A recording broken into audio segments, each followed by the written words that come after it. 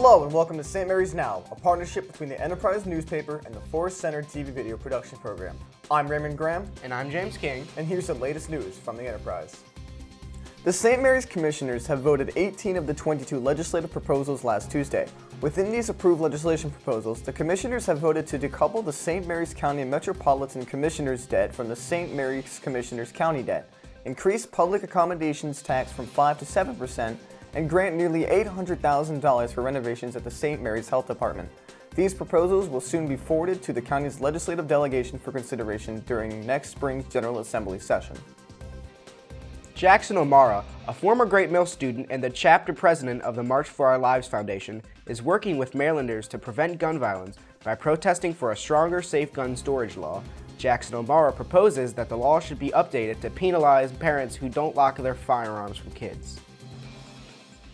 Due to heavy rains reducing salinity in portions of the bay, the Maryland Department of Natural Resources has issued new limits regarding the 2019 to 2020 oyster harvesting season.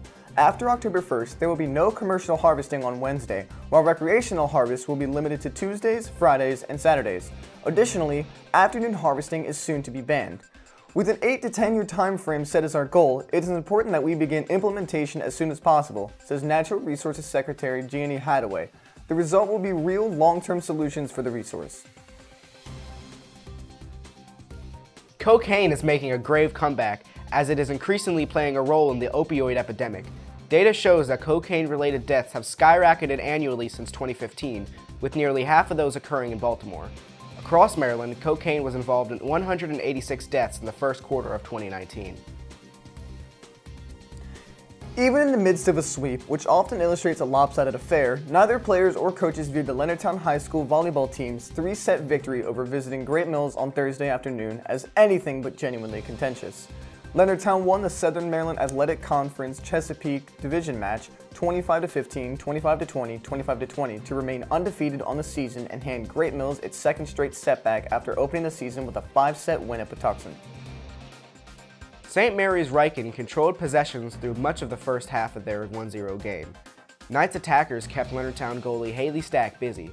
Stack played exemplary in the box, kicking away numerous quality shots from Gina Jaffers, Molly Guy, Tatum Shipman, and Abigail Simmons.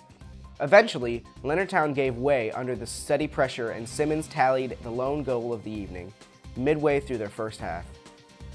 This news brief has been provided by The Enterprise. For more details, visit somdnews.com. That's what we have for you on this edition of St. Mary's Now. I'm Raymond Graham, And I'm James King, signing off.